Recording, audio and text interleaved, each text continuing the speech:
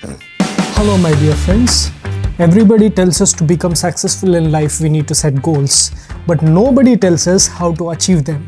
In this video, we are going to explore how to set the goals and also achieve them. So, let's get right into it.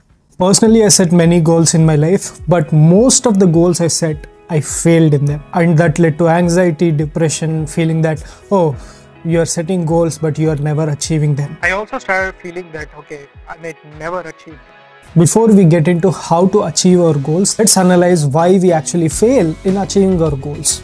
Here are the three reasons why we can't become successful in achieving our goals. The number one reason is setting unrealistic goals.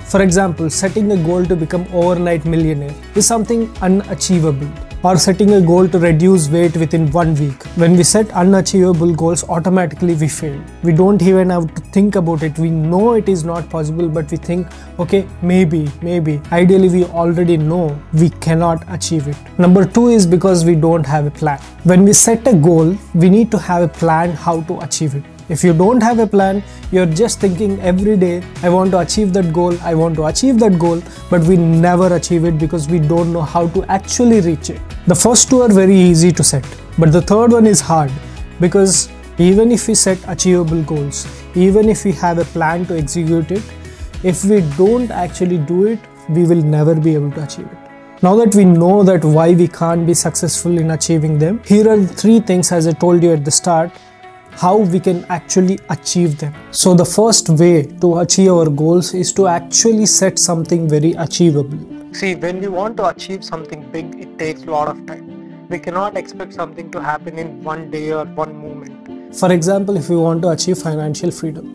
it won't happen in one night because we have been accumulating all the problems we have for so many years, and within one night, it cannot happen so that's why it is important to set a goal for like 5 years or 6 years based on your current financial situation.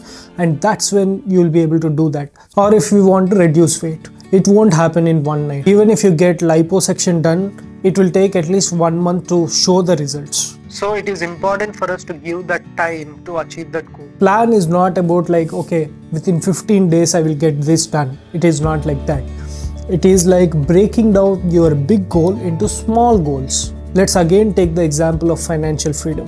If we want to achieve financial freedom within next 5 years, then the first thing we need to do is if we have loans, we need to clear them. And second thing we need to do is save 80%. Third thing we need to do is invest.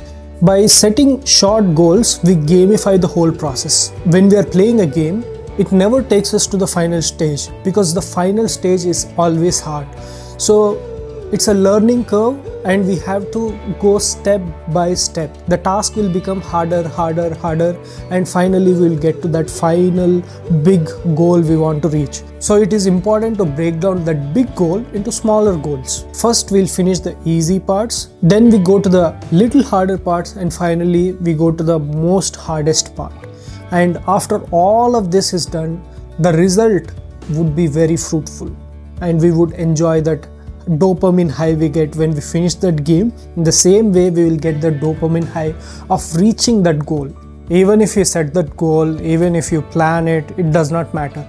Because there is no execution one day you do that push up and next day if you don't do it there is no point. one day you pay off a little loan and next day you are taking another loan. Then we will never achieve that financial freedom. Sometimes even if you don't have a plan but you have that uh, consistency in executing that you'll at least be able to achieve something and also remember, you don't have to be hard on that plan because we don't know. We can only make the plan, but it might not be possible to execute that exactly as is. Keep it flexible and make adjustments whenever required. If something is not working, you can change that a little bit and improve it. If you deviate too much, you will never be able to execute it. If we follow these three steps, 100% we can achieve our goals. Since the time I realized the importance of planning, everything is planned. I have set certain goals broken down into multiple steps. I also kept the load minimum so that I don't be in pressure in every time I want to execute that plan. It is also something about building the habit. And if we build a habit,